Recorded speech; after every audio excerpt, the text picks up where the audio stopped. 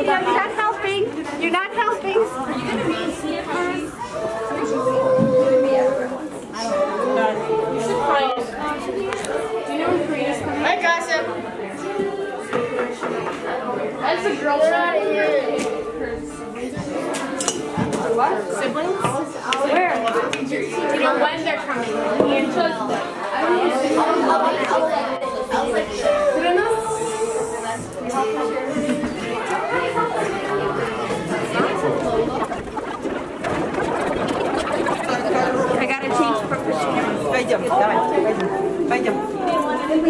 Where do you want to sit? Свою бандана. You want to sit? Е, саме тихіший клас.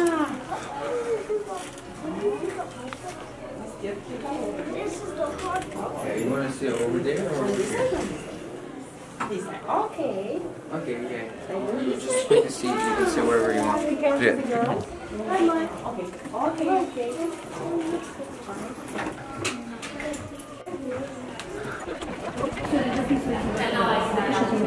Она еще не, не закончила kindergarten. Ну, ага, все, все, она будет тут, а тогда тоді публіка, ми поміняємо її туди. Хорошо, на, на... Все, ладно.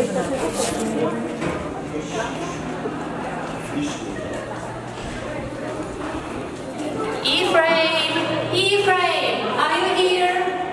Oh, where is that boy? Did you change the documents here to the other side of the river? No, he must be somewhere here. Tiki sauce gone? Who's this? shouting for you. have to call out the entire encampment. Ephraim, oh my baby boy, I was so worried. Where have you been? Why did you stay near me? Come on, I don't all the excitement. I mean, come on, we're free. We're finally free from the Egyptians. I know, but hundreds of it, but the Egyptian army was behind you.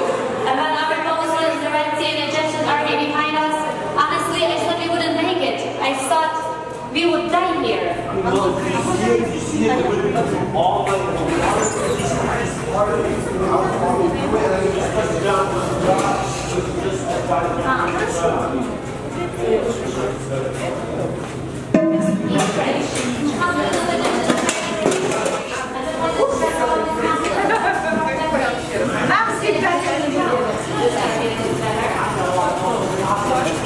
you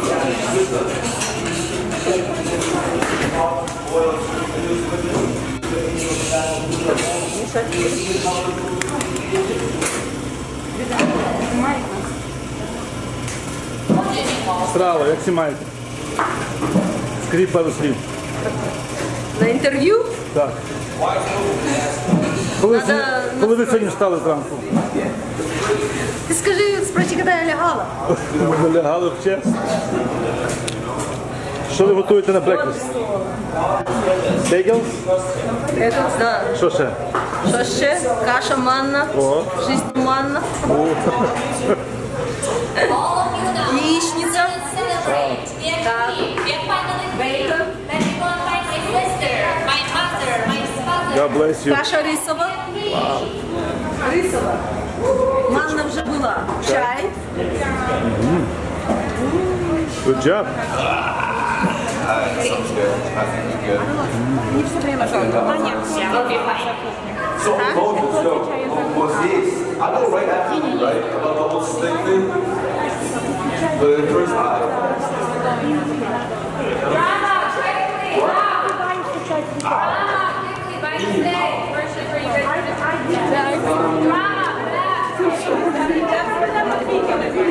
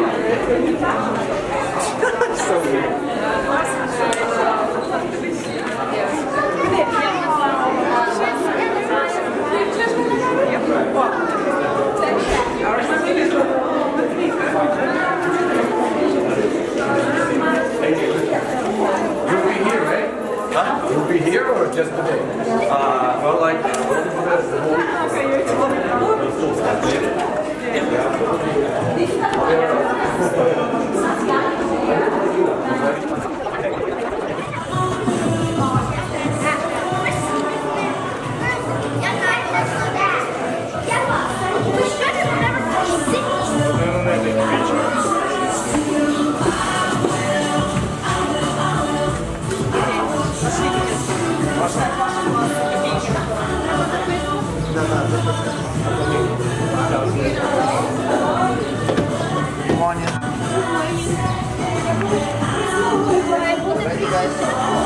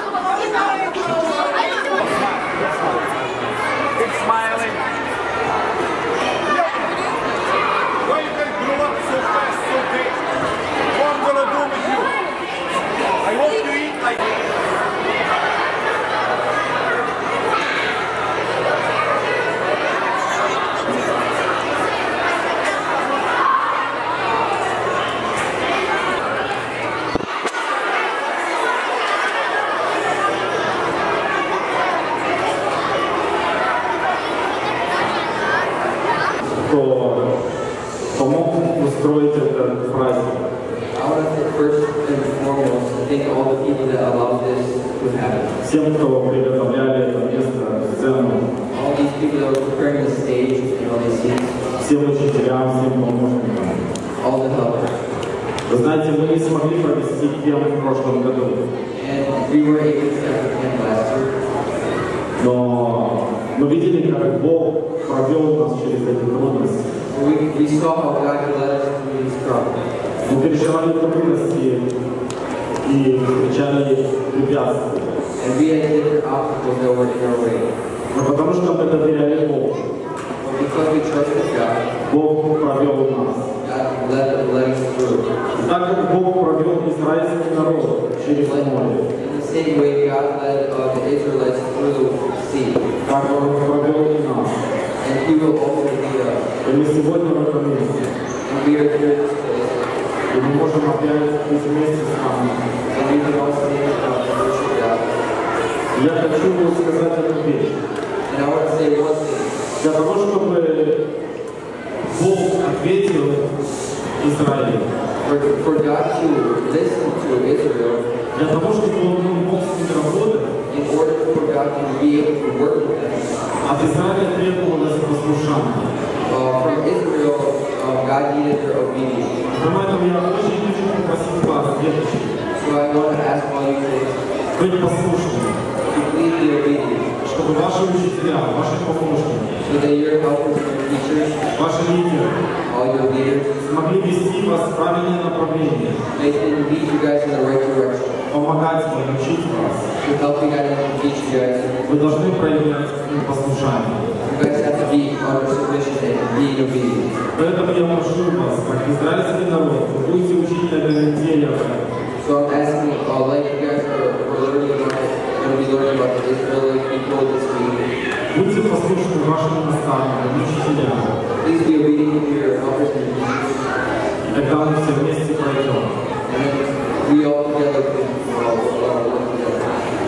также прошу, чтобы э, все помощники между собой, рабочие helpers, чтобы мы с любовью и с уважением относились друг к другу.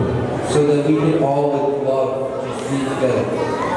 И э, я надеюсь, что в этом нас благословит Господь. And I think God will bless us in this. И в этом вся слава будет принадлежать этому Богу. And all the glory will be given to God.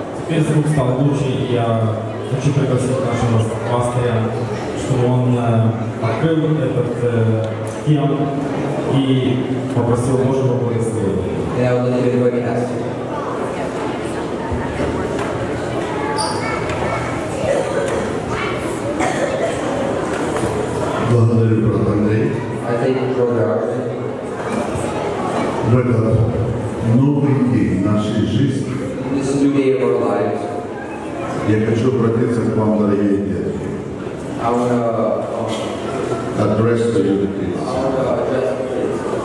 Хочу, чтобы вы в этот день оценили одно.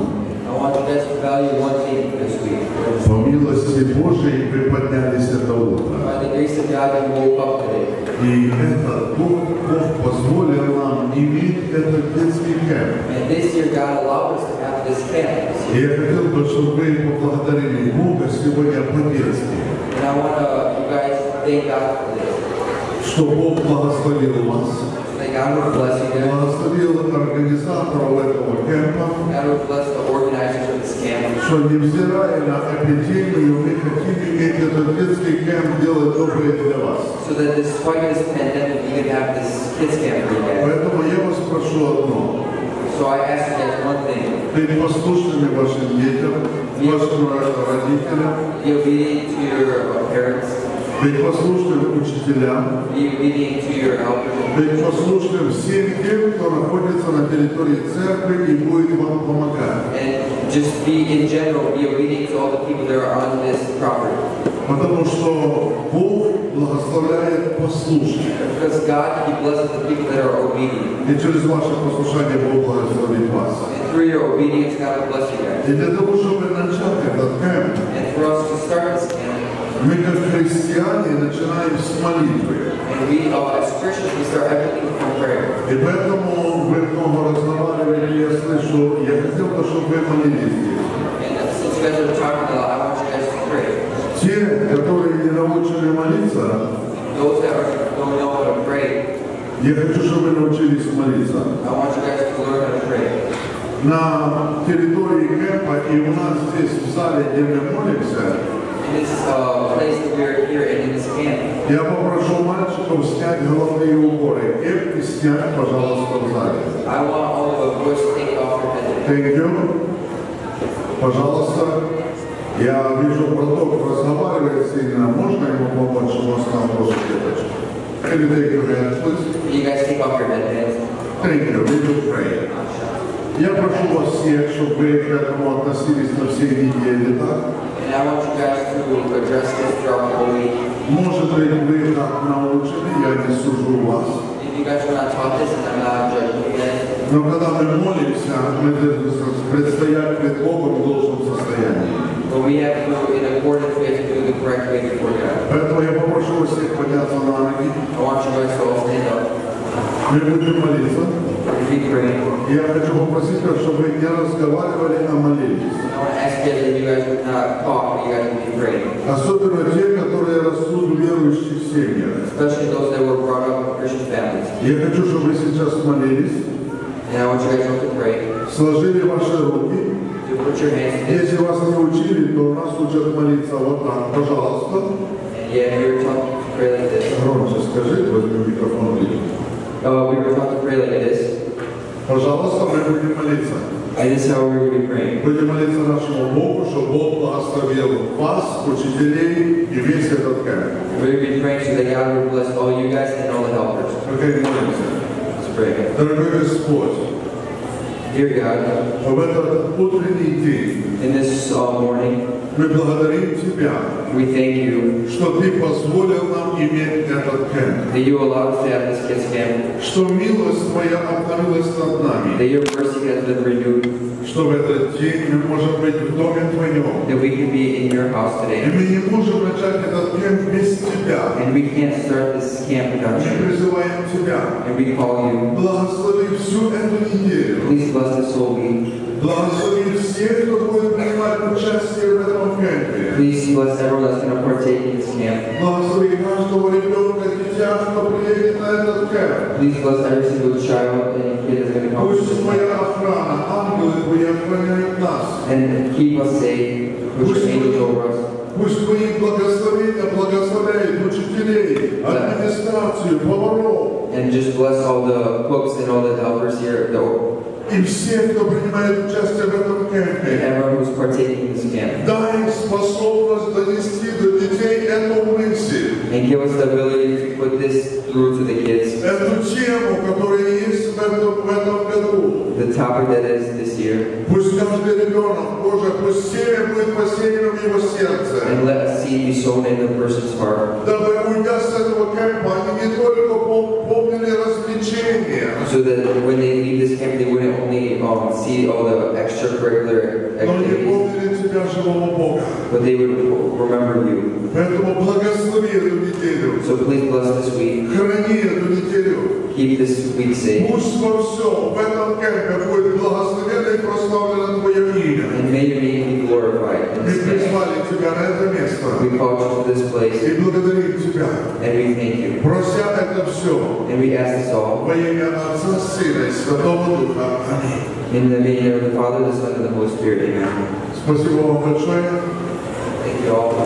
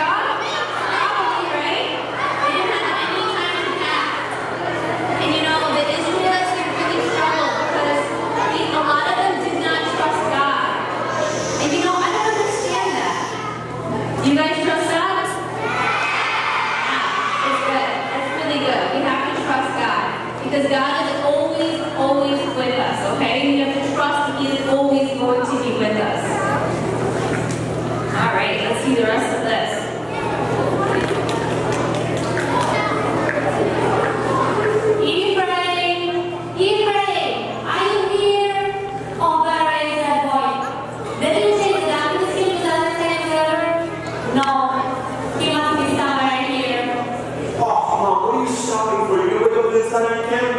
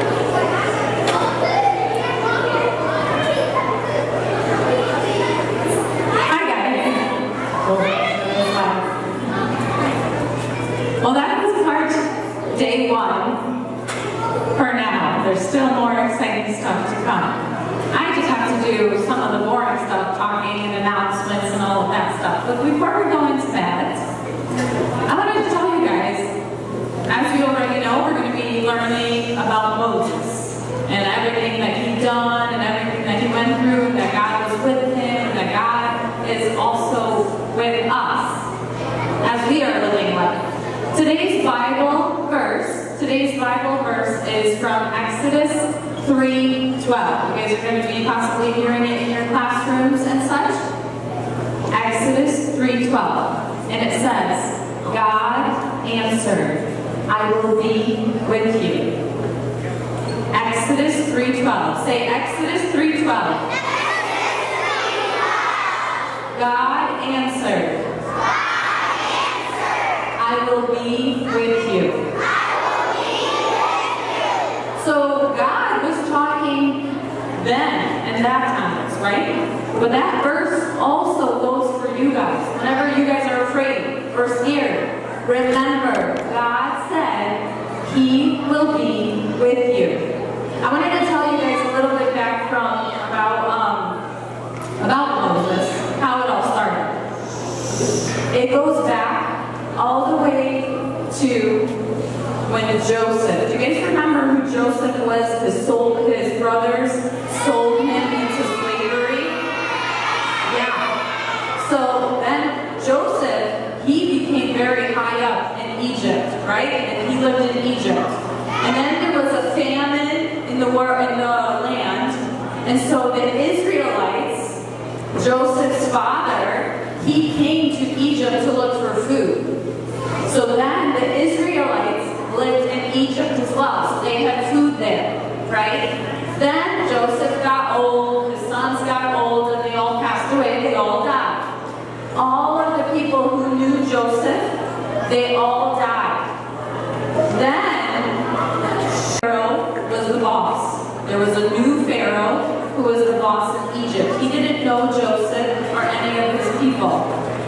saw that the Israelites, they were becoming very strong. There was becoming a lot of men who were very strong. There was um, Israelite men who were so strong, and there was a ton of them. So that Pharaoh, he got scared, and he's like, what if there are slaves? But what if they're going to get the idea to become the boss of us? So we have to stop them. I want to stop them. And what we're going to stop them with is I'm going to talk to the woman who helped to bring the Israelite baby boys into the world. And he talked to them and he said, hey, they're called midwives. They're like, hey, midwives, I want you, whenever baby boys are born, I want you to kill them. Can you believe it? And so the, the Israelite midwives are like, we're not going to do that. How would we kill little baby boys? So they didn't tell Pharaoh. And then Pharaoh found out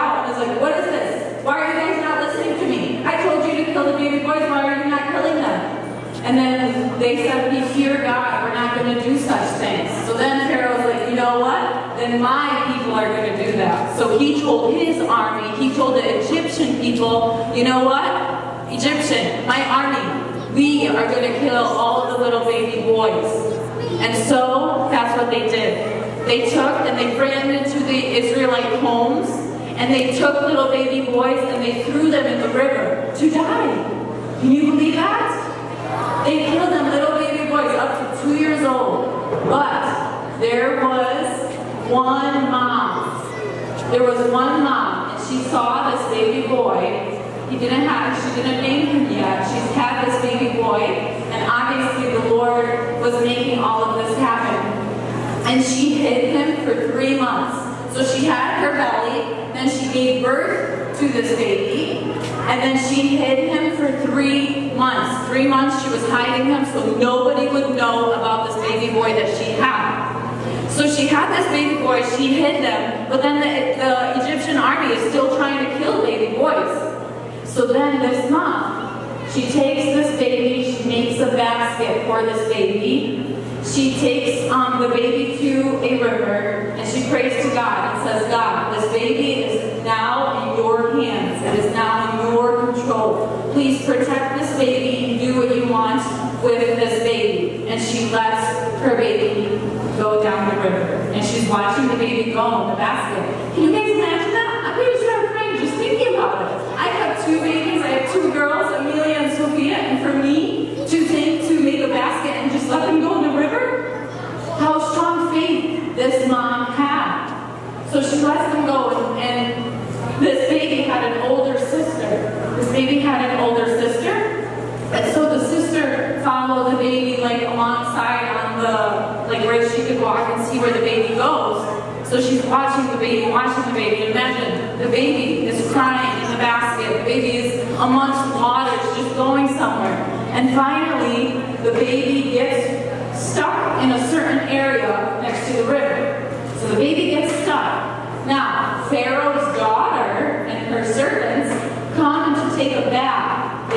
Take a bath at this area, and she sees a baby, she hears a baby crying. And she's like, why do I hear a baby crying? Where is this baby coming from? And she's like, okay, servant, go get me what is in that basket. So she gets, she brings the basket over, and it says, the servant brings the basket over to Pharaoh's daughter. Pharaoh's daughter opens the basket, and she sees that the baby is crying. And she's like, oh no, this is definitely an Israelite baby. They had specific blanket with the baby. She's like, this is an Israelite baby. This is the baby that my father is trying to kill. And it says that the Pharaoh's daughter had compassion on the child. She cared for the child and she said, I will take this baby and it will be my baby.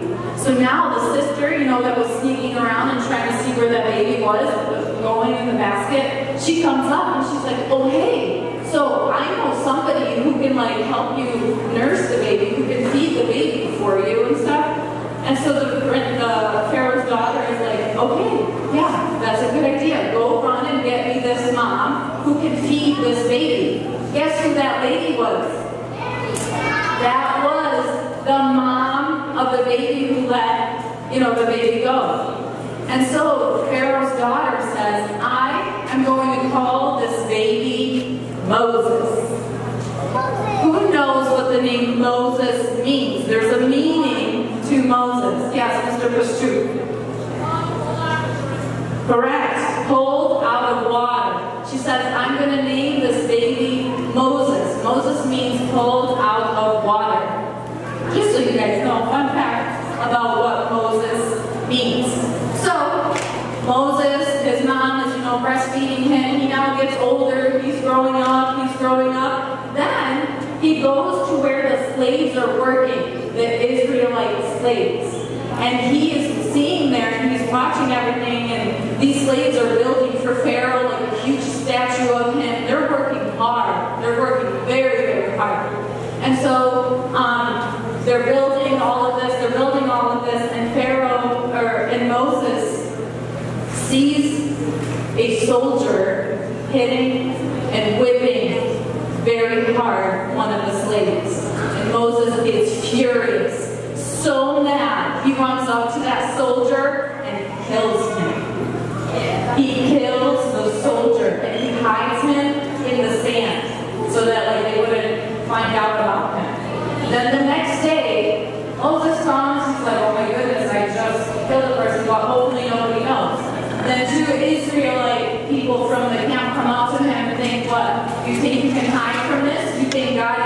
see that you killed someone? So Moses, uh, Moses finds out that people heard, people heard that Moses killed an Israelite soldier, so he runs.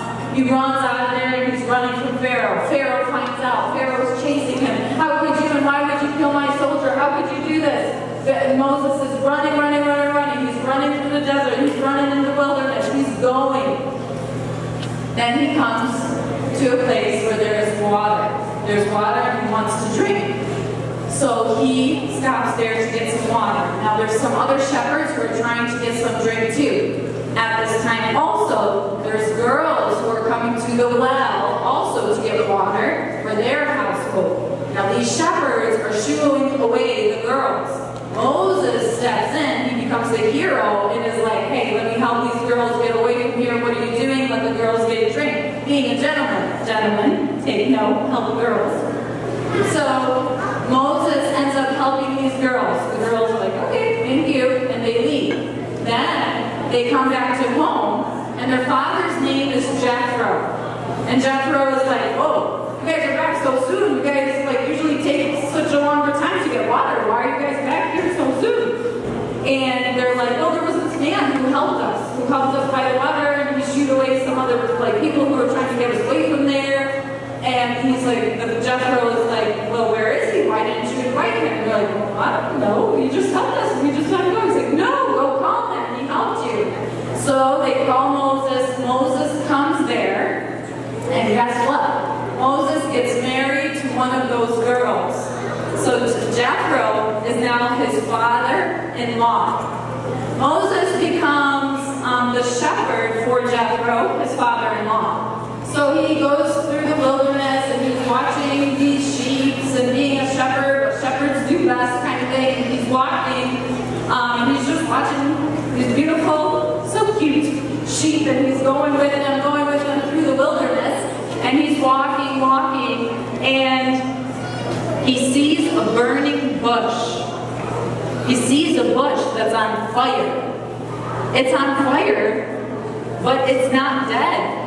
So if you guys see a tree that's on fire, it's gonna burn, it's gonna die. But the leaves are still all alive. They're all green. They're still alive and it's on fire. So Moses is looking at this bush and he's like, oh my goodness, what is this? And he's trying to go around it. And he hears a voice, Moses, stop. Take off your sandals because where you are standing is holy ground. So he now gets scared and like takes off his sandals. He bows down. And this is God talking to Moses. And, and God says, Moses, I have chosen you. You are going to free my people. You are going to go back into Egypt. And you are going to take my people out of slavery. And Moses is like, Lord, who am I? I can't do this. What are you talking about? Are you sure you have the right man? I talk slow. I stutter. I'm like not a good person for this. And God says, am I not the one who made you? Am I not the one who give, gives you words what to say? Didn't I give you your mouth? Didn't I give you your eyes? And he says, but God, I'm not qualified. I'm not good. I'm not good enough. And God says, he gets angry. And he says, fine, Moses. You will have a helper, and that helper's name will be Aaron. He, God says, Aaron halfway in the wilderness. So after the burning bush, Moses then goes back. God talks to Aaron and is like, Aaron, Moses is going to meet you in the, in the wilderness. Go meet Moses. So they meet there. And the story continues tomorrow. That's